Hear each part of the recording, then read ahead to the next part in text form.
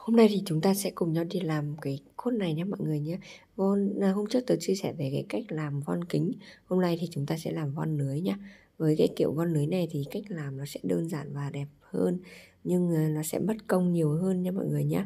À, chúng ta sẽ cùng nhau đi tìm hiểu về cách làm cái cốt này nha mọi người.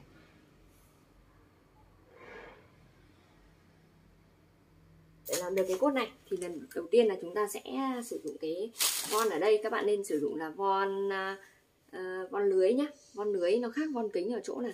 Đây các bạn nhìn này. Von lưới thì nó sẽ có cái độ các cái lỗ này nó to như này. Đó. Còn tùy giống nó giống như vải màn của chúng ta cũng là von lưới đấy nha mọi người nhá. Được chưa? Còn von kính thì nó sẽ dày hơn. Đây các bạn nhìn này. Đây là von kính này. Đó, von kính thì nó sẽ dày hơn nhá. Được chưa? Đấy. Thì tùy vào nhu cầu sử dụng của các bạn thì ở với cái mẫu này chúng ta nên sử dụng con lưới để thứ nhất là nó rẻ hơn. Thứ hai nữa là nó không bị sơ khi chúng ta cắt. Chính vì thế thì nó sẽ dễ dàng để chúng ta làm hơn nha. Được chưa? Đó, các bạn sẽ cắt một cái dải nó khoảng tầm à, à, 40 cm cho tớ. Nha đây đây chúng ta sẽ cắt khoảng 40 cm nha. Đó. hai dải 40 cm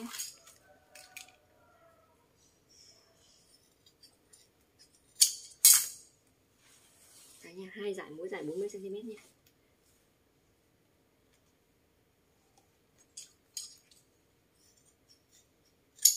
Dạ, đó, hai giải mỗi giải 40 cm đó tiếp theo chúng ta sẽ cắt khoảng 4 giải. Mỗi giải à, nó tầm khoảng 15 cm thôi nha. Mỗi giải 15 cm đây. 4 giải nha ở đây chúng ta sẽ phải cắt 4 giải. 4 giải mỗi giải 15 nha. Nếu cắt bằng nhau thì nó lên nó sẽ đẹp hơn.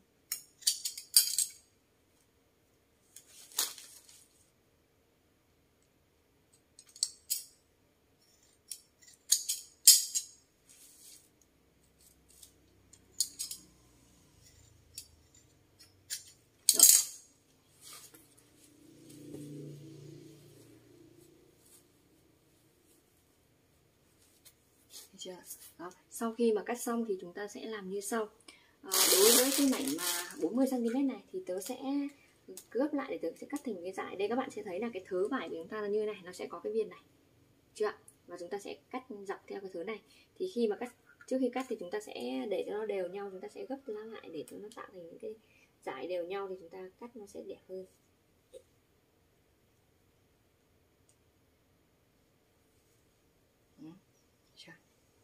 Sắp cho bằng này.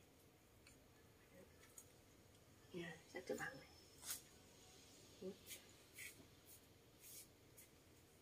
Được chưa? Đó, gấp lại. Gấp lại tiếp tục sắt cho bằng nha. Được chưa? À, gấp lại. Đó. thì các bạn thấy là cái chỗ này nó sẽ hơi dài nó, hơi to. Thì chúng ta sẽ cắt à, thêm một dải, là chúng ta sẽ cắt đi một dải, cắt một dải như này trước. Để nhìn cái để cái ờ, thứ nó sẽ bé hơn. Cắt một giải này thì chúng ta sẽ chúng ta làm nhé Đó, bị to đúng không? Đó, cắt đi cái này chúng ta sẽ được thêm một một ừ, giải nữa.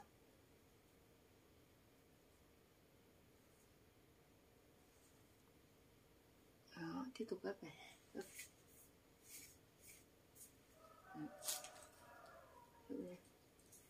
cái cái khổ ngang này thì nó còn tùy vào vào vải nhé nó không có cứ là là giống nhau đâu, nó không phải y như nhau đâu, được chưa? Các bạn đây. Đó, thì như vậy là chúng ta đã được những cái giải nó nhỏ hơn rồi, nó sẽ đẹp hơn nhé các bạn cắt.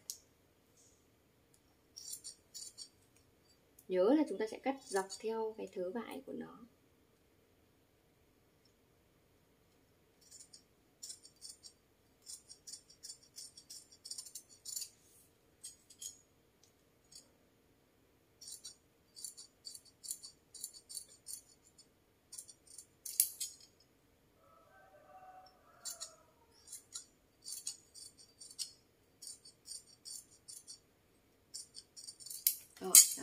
Là chúng ta đã được những cái giải như thế này được chưa? Đó. À, sau khi mà chúng ta được cái giải như thế này rồi thì chúng ta sẽ làm như sau. Đây chúng ta sẽ sử dụng ờ, từng giải nha các bạn sẽ di từng giải này để từng giải như này cho tớ. Đây, để thẳng này nhá. Đấy, sau đó thì tay chúng ta đẩy này đẩy này đẩy vào nha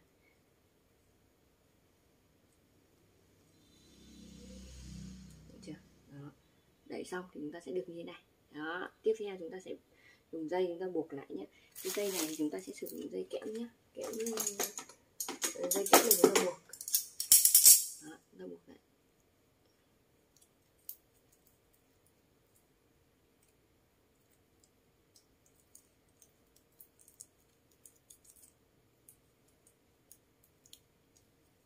Tiết cho nó nhỉ đấy sau khi buộc xong các bạn cắt đi cái phần thừa này được.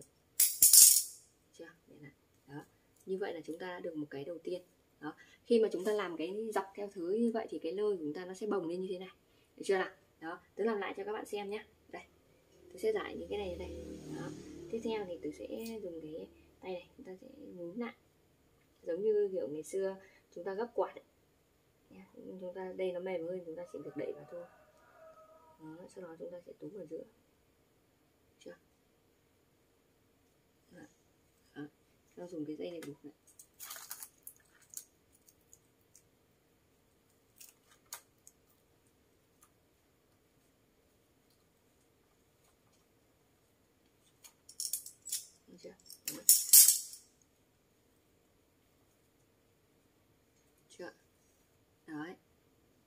Như vậy là chúng ta đã tạo được cái nơ như thế này nhá. Được chưa? Đấy. cái nơ của chúng ta chúng ta làm dọc thứ thì nó sẽ rất là bông như thế này. Nếu như chúng ta làm ngang thứ nó sẽ không bông được như thế này đâu. Được chưa? Nên là các bạn chú ý nhá. Chúng ta sẽ làm sao cho nó uh, cho nó dọc thứ. Dọc thứ này thì nó sẽ bông hơn được chưa ạ? Đó. Đây tôi làm lại một lần nữa cho các bạn xem này. Đây nếu là dọc nha chúng ta cắt những cái dải như này. Đó, dán vào đây dán đây. Rồi nó lại cái này thì dễ rồi đúng không? Đó. Đấy, sau chúng ta sẽ buộc lại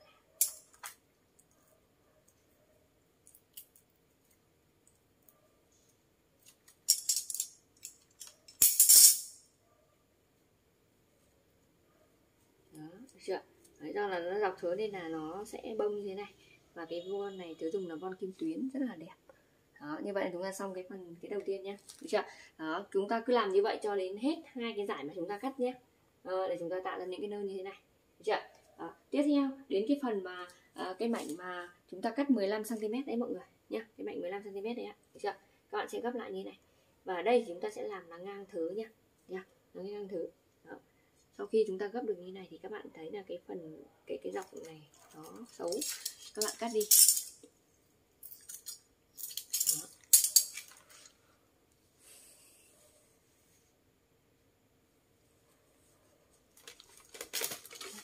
À, sau khi mà chúng ta cắt được cái đoạn này rồi nhá thì các bạn sẽ gấp lại như này. Được chưa đó. Ờ, nếu như mà các bạn không quen á được chưa các bạn không quen thì chúng ta sẽ ghi một cái hàng này lại nhá. Chúng ta ghi một cái hàng cho nó giữ cố định nó lại như này.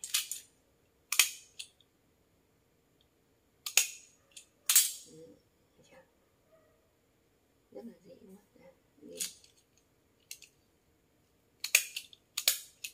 đó các bạn sẽ ghi lại nhá. Ờ, à, đấy là các bạn chưa quen thì các bạn làm như thế chúng ta ghim lại để chúng ta giữ sau đó thì chúng ta sẽ dùng đến cái khi mà chúng ta gấp này tay chúng ta đẩy đẩy gấp vào đây.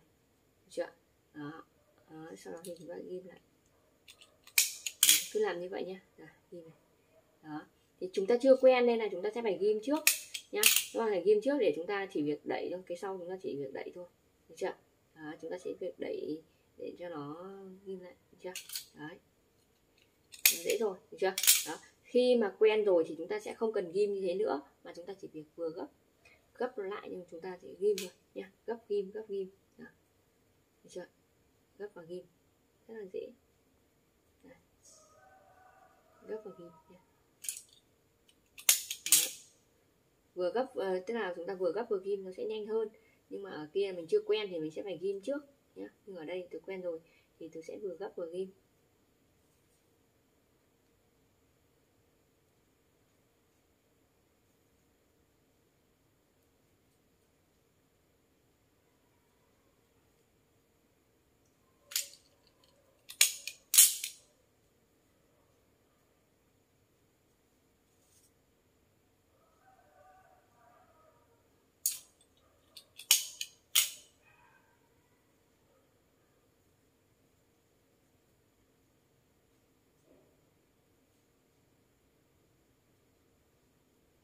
được chưa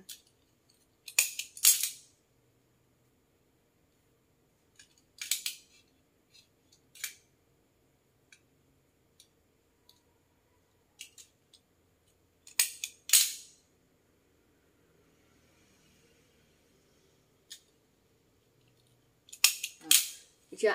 Như vậy là chúng ta sẽ được cái giải như thế này và chúng ta sẽ làm bốn giải như thế này nhé. Với cái ờ, cốt này cắm được tầm 20 đến 30 bông thì chúng ta sẽ làm bốn giải này được chưa đó, chúng ta cứ làm như vậy cho đến hết nhé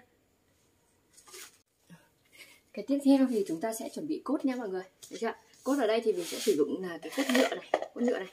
Được chưa à, tôi sẽ dùng đến cái cốt nhựa này thì à, bình thường là chúng ta sẽ sẽ sẽ lắp. Đây các bạn sẽ lắp như thế này nhé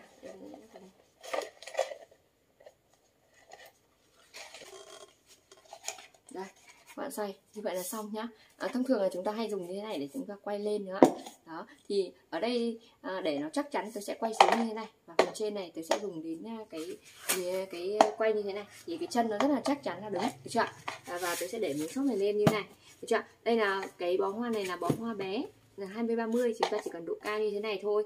Còn trong trường hợp mà chúng ta ờ, cần cái cốt 40 50 chẳng hạn thì chúng ta sẽ uh, trồng cái này lên trồng một miếng xốp nữa lên. Chúng ta để như này. Đó thì nó sẽ có cái độ cao hơn nhá đây ta sẽ trồng miếng xốp như này và chúng ta buộc đó. Ở trong trường hợp mà chúng ta sử dụng cái bó hoa to hơn thì chúng ta sẽ trồng hai cốt lên với nhau nha. Các bạn sẽ trồng hai cốt lên với nhau thì nó sẽ à, được một cái bó hoa nó cao hơn nha. Được chưa và cái cốt này nó rất là hữu dụng. À, sau khi mà chúng ta lắp được như thế này rồi thì chúng ta sẽ dùng dùng cái kéo nhé có thể dùng kéo chúng ta xiên qua. À, và nếu như ai mà có cái mỏ hàn chúng ta không cần à, chúng ta sẽ xuyên qua bằng mỏ hàn thì nó sẽ dễ hơn. Nhưng ở đây chúng ta dùng kéo sau khi dùng kéo thì bạn dùng đến à, cái này. Đấy. qua đây. Đó, lên sau đó thì để cái miếng xốp này lên nha. Đó. Sau khi để miếng xốp này lên thì các bạn thấy là chúng ta sẽ đưa keo vào đây nha. Các bạn sẽ đưa keo vào cái viên như này này. Đấy, keo vào cái gì này. Cho nó chắc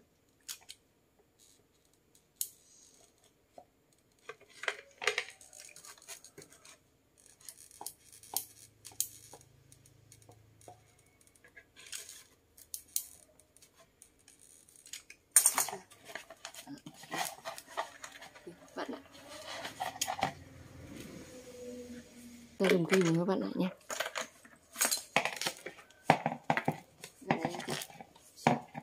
chắc chắn.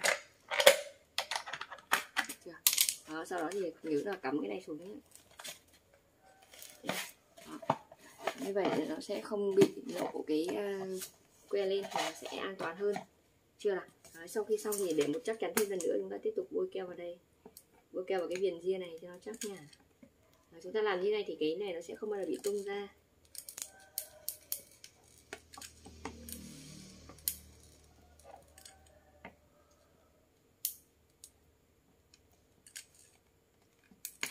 chưa đó, như vậy là chúng ta đã xong nhá. Đó. tiếp theo thì chúng ta sẽ đến cái phần làm mách này. Đây, đến cái phần làm mách nhá. Thì vải của chúng ta màu gì chúng ta sẽ làm màu đấy. Ở đây tớ dùng vải màu trắng thì tớ sẽ sử dụng mách màu trắng. Được chưa à, và nếu như mà vải màu đen thì chúng ta dùng mách đen nhé đó, đầu tiên thì chúng ta sẽ dùng cái tờ giấy mách này các bạn sẽ gấp này. Gấp lại khoảng tầm 10 cm nha. Chưa 10 cm đó, sau đó thì chúng ta sẽ dán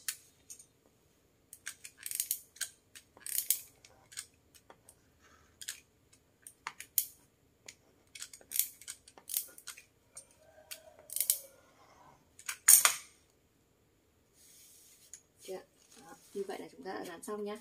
Rồi, cái tiếp theo, chúng ta sẽ dán cái này vào đây. Thì cái cái khi mà chúng ta dán cái này lên đây đây như thế này chúng ta sẽ phải thiếu một tờ rưỡi, nửa tờ nữa, đúng không ạ? Đó, các bạn dùng nửa tờ nữa nha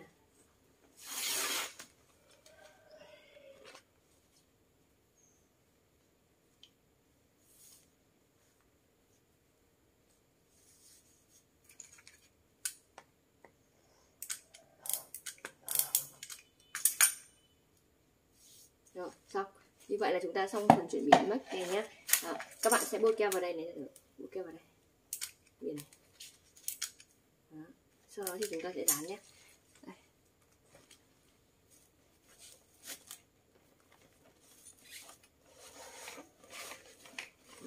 các bạn chỉ lên để này để nó cao khoảng tầm 1 đến 2 cm thôi nhé không nên để quá cao nhé ra để quá cao thì chúng ta dán à, chúng ta cắm hoa là rất là vướng.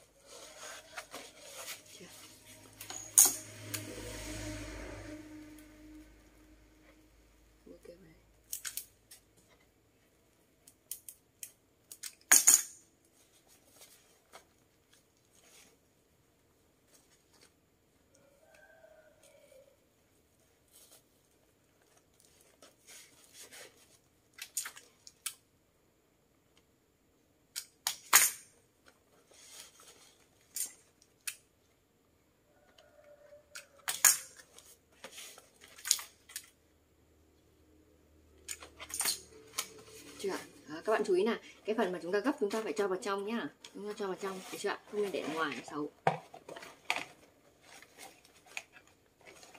Rồi.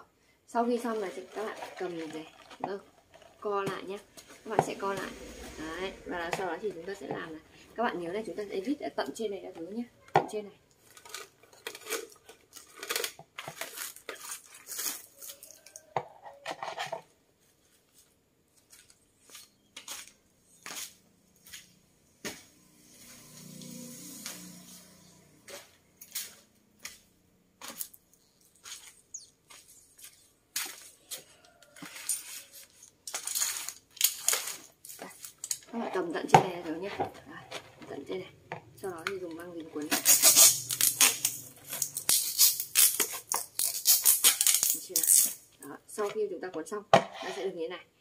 Tiếp theo chúng ta sẽ sử dụng bốn tờ giấy nữa nha các bạn nha. Bốn tờ giấy.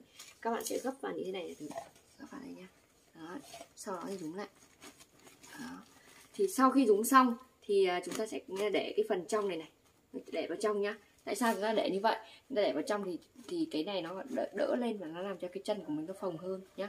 Cái vết gấp làm sao cho khi mà chúng ta ốp vào đây này thì cái cái phần dưới đây nó chùm được cái chân dưới này nhá. như ở đây nó bị đang hơi bị à, thấp hơn chúng ta sẽ có thêm vào. Đó, được chưa ạ? À, vào đây. Đó, vào đây nha.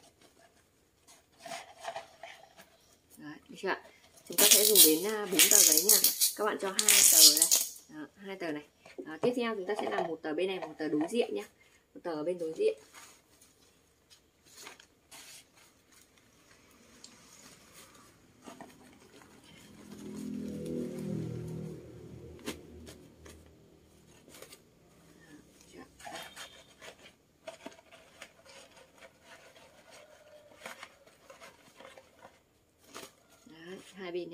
Các bạn nhớ phải làm như vậy. À, nhớ là chúng ta sẽ làm ờ, hai bên đối diện trước. Đấy, chưa nào? Sau đó chúng ta sẽ làm bên đối diện bên này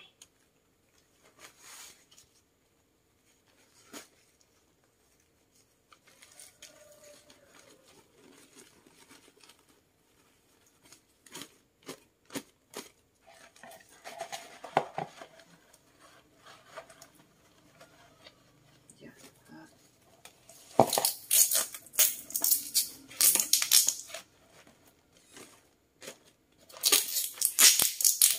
Đấy, được chưa Đấy, bên này cũng thế chúng ta sẽ phải làm như vậy thì cái chân nó mới phồng nhá mọi người. Dạ, mọi người nhớ chú ý là chúng ta sẽ làm hai cái đối diện một lúc thì cái chân nó mới phồng bởi vì các bạn thấy là ở trong này này nó sẽ có cái đỡ ra và cái ngoài nó sẽ có cái đỡ. Như vậy thì nó sẽ phồng nhá. Còn nếu như các bạn làm cùng là bốn tờ giấy nhưng nếu như các bạn cứ làm liên tiếp cạnh nhau á nó không phồng đâu bởi vì nó không có cái độ ở bên trong nó không có cái cái độ chè, nó không có cái độ đỡ ra ấy nên là nó sẽ không phồng ra. Đó, cùng là tầng cùng là bằng đầy giấy nhưng chúng ta sẽ phải làm sao để cho cái cái cái à, chân nó được phồng thì nó sẽ đẹp hơn nhé. Được chưa? Đấy, các bạn thấy không? Bốn tờ giấy nó rất là phồng chân như thế này. Đó, được chưa ạ? Đấy, nhá. Như vậy là chúng ta đã xong cái phần cốt nhé sau khi mà xong phần cốt thì chúng ta sẽ tiếp tục bắt đầu đến cái giai đoạn chúng ta dán nhé mọi người nhé chúng ta sẽ tiến hành dán như sau. Đây. Các bạn thấy là khi mà chúng ta cho cái chân ở trong này, cái trong này, giấy trong này, nó sẽ đỡ ra này cộng thêm cái trong này chúng ta làm hai lớp thì cái trong này đỡ thì cái ngoài nó phồng nhá. Thì như vậy là các bạn thấy là cái chân nó rất là phồng tự nhiên như này. Đó, các bạn thấy không ạ? Đó phồng tự nhiên như này. Đó đây rồi. Như vậy là chúng ta đã xong phần trong. Tiếp theo đến phần này chúng ta sẽ tiến hành dán này. Các bạn thấy là cái phần này đây nó có cái chúng ta ghim lúc trước rồi ấy thì chúng ta sẽ dán như sau. Các bạn sẽ bôi keo ở cái phần trên này một cái này nhá. Phần trên này một hàng tiếp theo ở dưới một hàng. Đó thì cái phần à, dưới này là chúng ta sẽ cầm cái cái vết ghim này. Đây, ghim vào đây, dán vào đây. Dán vào đây. Đó, được chưa ạ? Dán lên trên này. Đấy. Chúng ta sẽ đè vào cái phần, chúng ta sẽ nhớ là cái phần hàng dưới này nó phải nó phải ở trên cái xốp này nhá. Chúng ta sẽ phải dán lên cái xốp. Đó. Trên này chúng ta chỉ giữ thôi. Đó. chưa ạ? Bạn đè vào cái xốp này. Nhá. Đấy. Dán như vậy nhá. Nhớ là cái phần này chúng ta sẽ phải dán lên cái xốp cơ nhá không phải dán lên lên cái giấy. Cái trên này cái giấy nó chỉ mang tính chất là giữ cho cái cái vải chúng ta nó được ừ, cái cái cái nhún của chúng ta nó được ở chỗ đấy thôi chứ nó không tác dụng giữ đâu. Nếu như các bạn bôi keo vào cái giấy này này nó sẽ làm cho cái cái cốt của mình nó không được chắc chắn nhé các bạn nhớ như vậy cho tớ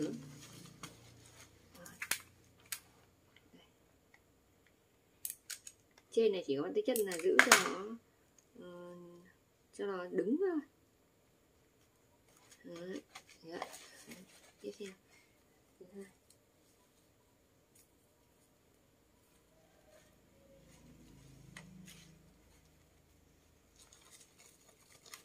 nha bạn bôi keo vào phần giấy chúng ta giữ là nó không đứng được mà nó lại đổ vào trong Đấy. nhớ như vậy nhé đấy, thì các bạn thấy là hai dải là chúng ta sẽ được một hàng chưa nào đấy. chưa đấy như vậy là chúng ta đã được cái hàng đầu tiên nha hàng đầu tiên thì nó như này. Đây. ạ đó rất là xinh như này rồi các bạn thấy không ạ? Đó. Nhá, được chưa? Đấy. Sau khi xong như thế này thì chúng ta sẽ tiếp tục hàng thứ hai nhá mọi người. Hàng thứ hai chúng ta sẽ làm như sau.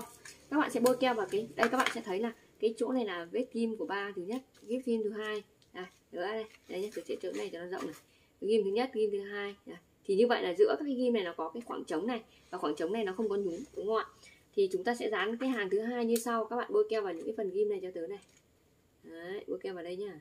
Bôi keo nhiều ở cái phần ghim. Sau đó thì cái phần ghim của cái thứ hai chúng ta sẽ dồn vào cái giữa cái chỗ mà cái khoảng trống của hai cái ghim đấy nhá các bạn. Được chưa đấy tôi sẽ dán vào đấy nhá.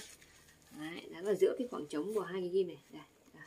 cái ghim này nó vào cái này. Đây, cái này vào đây nhé đó, chúng ta làm như vậy thì cái cái nhún của chúng ta nó sẽ đều đặn và rất là đẹp. Chưa?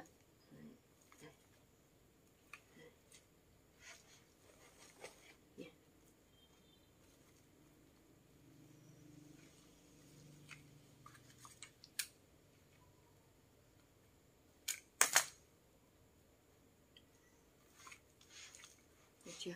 Đấy, các bạn thấy không ạ? Đấy chúng ta sẽ dán cái hàng thứ hai như vậy nhé đấy, các bạn thấy nào trong khi dán xong mà nó như này à rất là đẹp này. Đấy như này là chúng ta cũng cũng có thể bán được tạm rồi nhá. Được chưa đấy, như thế chúng ta cũng có thể bán tạm được rồi. Đấy chúng ta cứ dán như vậy đến cái hàng thứ hai này. Tiếp theo nhé đấy, chưa đây dán vào đây đấy, chưa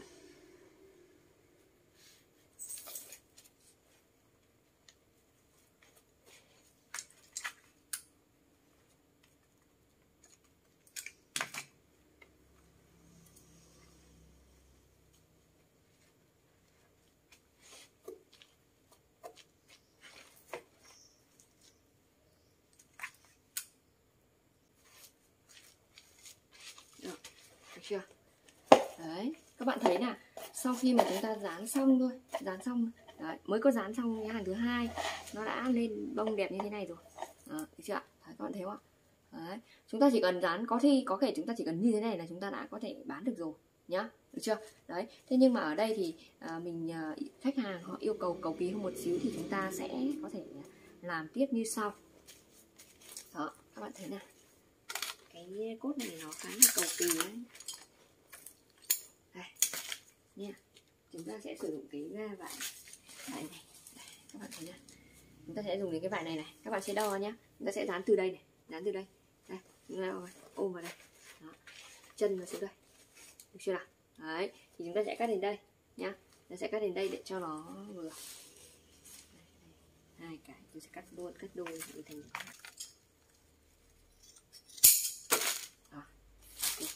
sau khi xong nhá, chúng ta sẽ bôi keo vào đây, chúng ta dán này các bạn bôi keo vào đúng cái hàng, cái cái cái hàng ghim này cho tới nha. Cái hàng ghim này này các bạn. Cái hàng ghim này. Bôi đúng vào cái hàng ghim cho tớ. Sau đó thì chúng ta sẽ quay này, dán lên đây. Nha, quay lên thế này cho tớ nha. Được chưa? Dán vào đây. Tôi sẽ hơi nhún nhún một xíu. Hơi nhún một xíu thôi nha, không cần phải nhún nhiều đâu ạ. Nhún một xíu và chúng ta lựa. Cẩn thận không là nó bị bỏng ha.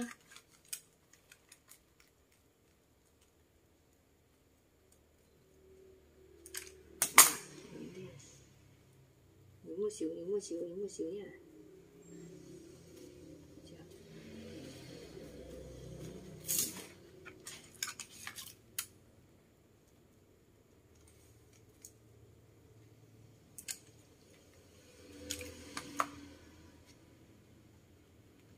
nhúng một tí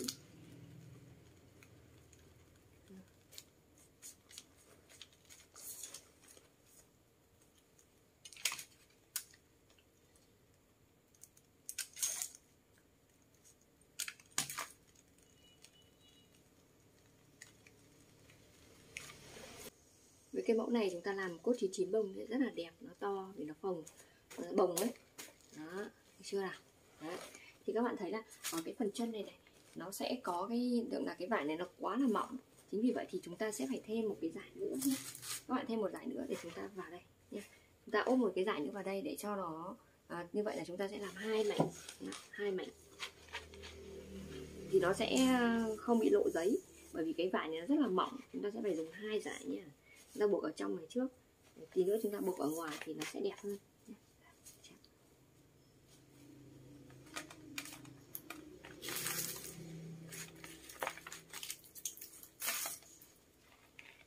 Một cái này nó hết khoảng tầm 2 mét nha mọi người.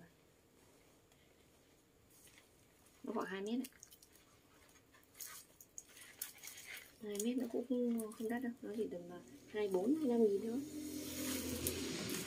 chỉ là cái công mất công nhiều thôi mọi người.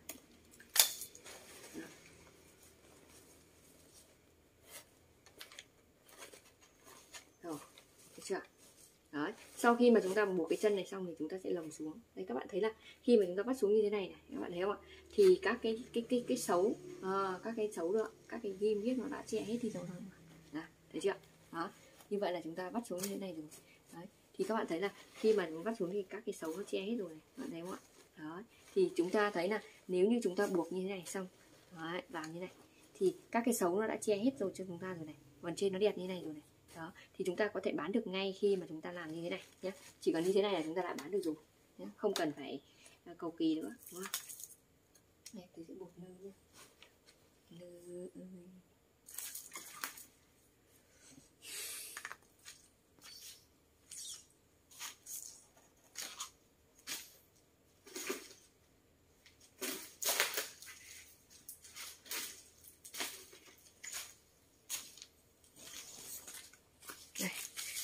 ta dùng cái dây nơ chúng ta buộc nó lại nha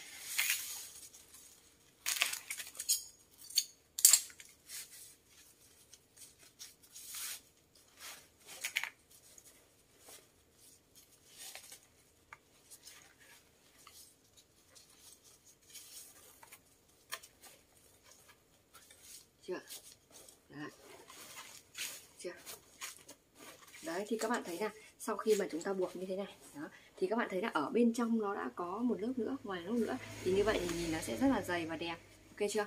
Đấy đây. Và cái thứ hai nữa là à, khi mà chúng ta dán ngược như vậy là chúng ta úp xuống thì các bạn thấy là bao nhiêu cái xấu nó đã che hết như thế này rồi đấy, nó che hết rồi. Đó thì như vậy là chỉ cần như thế này này ở phần trên nó bông như thế này đó ở dưới nó như thế này là chúng ta hoàn toàn đã có thể bán được rồi được chưa? Chúng ta đã có thể bán được như thành phẩm như thế này rồi nhá à, và cắm hoa nó cũng đã đẹp rồi. Nhưng ở đây thì chúng ta sẽ à, làm thêm một hàng nơ ở ngoài này nữa thì như nó sẽ đẹp hơn được chưa? Đó thì và tùy vào cái yêu cầu của các bạn để chúng ta có thể làm nhé được chưa? Đây các bạn sẽ để nghiêng như này. Và cái nơ lúc nãy chúng ta đã làm như thế này rồi đúng không? Đây chúng ta làm như này rồi nhá. Thì chúng ta làm xong thì à, chúng ta sẽ nhớ đã thấy là có phần buộc này là phần trái và phần này là phần phần phải đúng không? Đó thì chúng ta sẽ dán này các bạn thấy này. Nếu như chúng ta tất cả chúng ta dán quay như thế này thì những cái nơ sau chúng ta cũng sẽ phải quay như thế này. Thì như vậy là cái hoa văn của chúng ta tức là cái cái thớ thớ của nơ nó đều đẹp chưa? Nếu như các bạn quay dọc như thế này đó, thì tất cả các cái sau chúng ta cũng sẽ phải quay dọc nhá được chưa? Và như thế này nếu như chúng ta làm như này chúng ta nên quay như thế này. Bởi vì khi chúng ta quay như này thì cái nơ của chúng ta bồng hơn được chưa? Đấy và các bạn chỉ cần chú ý là nhớ là chúng ta khi chúng ta quay dọc như thế này ngang như này thì tất cả quay ngang quay dọc thì tất cả quay dọc nhá được chưa? Đó sau khi chúng ta quay như vậy thì các bạn sẽ bên keo bôi keo vào đúng cái phần mà chúng ta buộc là mặt trái của nơ nhá. Đấy, các bạn sẽ bôi keo vào đây. Đấy, giữ vào đây Đấy, dùng cái tay này chúng ta đè vào đúng cái này đúng cái cái cái dây buộc chúng ta giữ xuống một tí nhé chưa Đấy, tiếp theo cái sau chúng ta cũng bôi vào đúng cái bôi keo vào cái phần mà chúng ta buộc này nha mặt trái. Đấy sau đó thì chúng ta buộc vào đây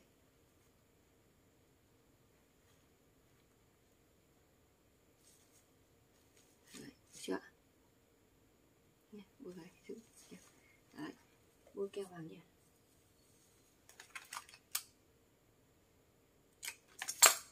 Được chưa? Đấy, bôi cạnh nhá đấy được chưa? Đấy các bạn thấy là nó sẽ vòng như này. Đấy. sau khi mà chúng ta làm như vậy nhá chúng ta cứ làm như vậy tương tự cho đến hết cái vòng này. Đó cứ làm như vậy cho đến hết cái vòng này nha mọi người nhá và đây là thành quả của chúng ta nha mọi người. Ờ, rất là bông và đẹp như thế này. Và nếu như khi mà các bạn cắt uh, cái nơ nó đều đẹp thì nó sẽ tạo được cái nơ bông như thế này. Và với cái cách làm này và cái chân cũng như là cái cách mà chia sẻ làm make thì chúng ta sẽ được một cái chân nó bồng và phần trên nó bông đó. với cái cách làm này thì các bạn sẽ chỉ cần xem video một lần là các bạn sẽ có thể làm được. Cảm ơn mọi người đã theo dõi nhé. Hẹn gặp lại mọi người ở những video sau. Nhớ đăng ký kênh và chuông thông báo nha mọi người nha.